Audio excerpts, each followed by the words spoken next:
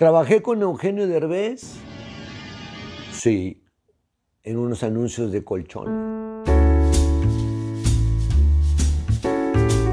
Allá por 1997. Ah, me cayó muy bien, la verdad.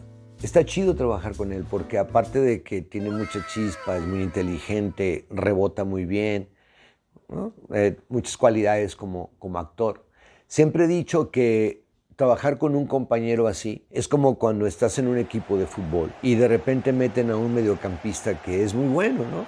Y todos los balones que caen en sus pies están bien servidos y el equipo gana. Así siento cuando trabajo con un actor bueno. Entonces, este, trabajar con él, pues un agasajo.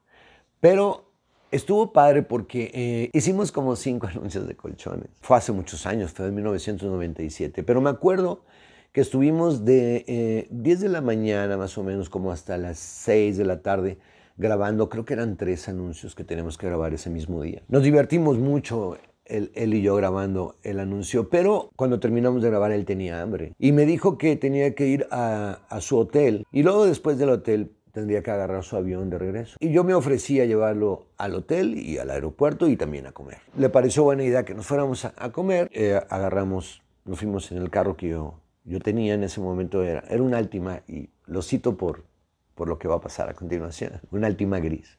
Ya nos subimos al carro y entonces le digo, mira, si te llevo a un restaurante acá chido, a que comas cabrito y la madre, te van a pedir muchas fotos, no vas a estar a gusto, pero conozco aquí cerca, cerca de donde estábamos grabando, en la tienda de colchones, conozco un, lugar que está en una esquina y venden cócteles de camarón.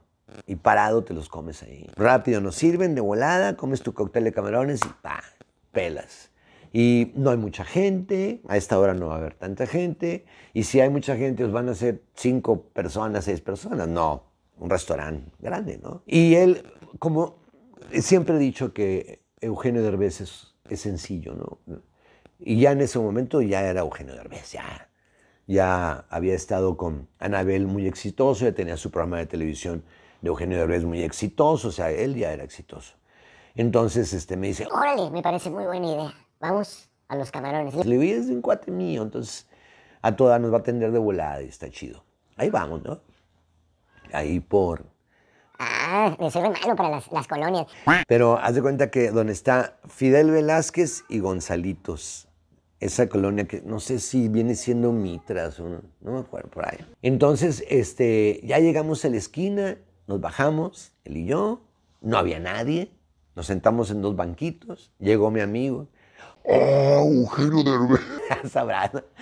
No, sí, al vato bien buena onda, Eugenio. A ver, ¿qué quieren? No, pues un cóctel de camarones grandes. Ya pedimos los dos, empezamos a comer. Creo que llegó otro cliente, le pidió una foto. Y luego el, dueño de, la marisquería le pidió también otra foto. Este, nos subimos al carro, comimos muy rico. Entonces ya vamos para el hotel, ¿no? y me dice, ¿sabes? Creo que ya es un poco tarde. Y adelante de nosotros iba otro Altima gris, igual. Entonces yo le digo, no, no vamos a llegar tan tarde porque mira, ya vamos allá adelante. y entonces él dice, no, no me conviene. Porque nada más iba manejando una sola persona, no iba de copiloto nadie. Y dice, porque entonces te la voy mamando. y no lo pienso hacer. ya nos cagamos de la risa los dos. Y este, ya fui y lo dejé en, el hotel. Y de veras no quieres que te vaya al aeropuerto. No, no, no. Neta, en serio, no hay bronca, van a pasar por mí. Bueno, chido, ya, ya nos despedimos. Bien chido trabajar con Eugenio Derbez. Y al otro día platico con el dueño de, de Supercolchones. Y le digo, oye, qué sencillo, Derbez me cayó muy bien, cabrón. Y, qué bonito se trabaja con él. Y dice, sí, sí lo es. Es una persona sencilla, de buen trato y un profesional en toda la palabra. Digo, lo llevé a, su hotel y eh, ya no quiso que lo llevara yo al aeropuerto. Le dio pena. ¿Pero por qué? Dice, porque no iba al aeropuerto. Eh, iba al aeropuerto del norte. Venía en un jet particular y como que le dio pena presumirte. O sea, qué chido, ¿no? El vato. y habían quedado de pasar por él para llevarlo con su jet. Yo, yo pienso, ¿no? Él me pudo haber dicho, no, porque mira, Ya van a pasar por mí porque no voy al aeropuerto. Vine en un jet particular, entonces me van a llevar de, de regreso a México. Él me lo pudo haber dicho, pero no me lo dijo. ¿Por qué? Porque es muy sencillo. O sea, no le quiso jugar a la mamada. Nomás me dijo, no, no te preocupes, van a pasar por mí y ellos me llevan al aeropuerto. Ese detalle de Eugenio Derbez me pareció tan chido. Y luego ya, con el tiempo, ya sabes, vas comprobando que los compañeros te dicen que es a toda madre, que es a toda madre. Y, y un día, en una entrevista, esa me la hizo el escorpión dorado, dije, para mí Eugenio Derbez es nuestro nuevo Cantinflas. ¿Por qué lo pienso así? Bueno, pues, lo pienso porque pues, está en Hollywood, Cantinflas llegó a Hollywood, en una película premiadora de un Oscar, o sea, premiada con Oscar, también Cantinflas. Eh, eh, es el artista que conocen a nivel internacional de la comedia en México, porque eh, Franco es muy famoso, pero, pero, pero Eugenio Derbez está en Hollywood, o sea, es otro nivel, ¿no?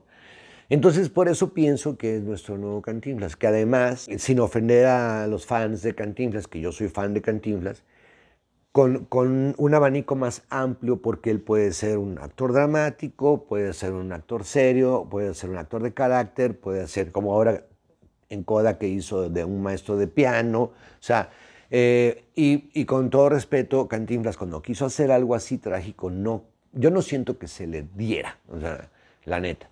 Este, Cantinflas todo lo que hacía estaba chistoso, desde mi punto de vista. Entonces por eso pienso que Eugenio Derbez puede llegar más lejos. A ver si no me crucifican con lo que acaba de decir.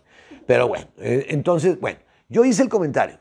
Y entonces recibo en mi teléfono un mensaje de Eugenio Derbez diciéndome gracias Oscar por tu comentario, más viniendo de ti, que no sé qué, o sea, algo así, ya saben, me echó una flor bonita, ¿no? Entonces vuelvo a reiterar que es bien chido, que es bien sencillo, que me gusta mucho su trabajo. Y para mí, con el respeto que merecen todos mis compañeros, el comediante número uno o el artista que pueda hacer comedia a nivel mundial en este momento número uno es Eugenio Derbez.